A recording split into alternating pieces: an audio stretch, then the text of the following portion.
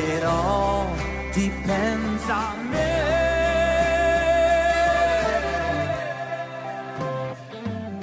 Today, the way you behave can make tomorrow's front page.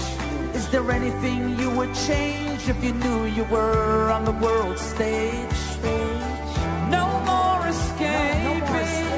The world is waiting for you to hear the call. Will you choice to change it all.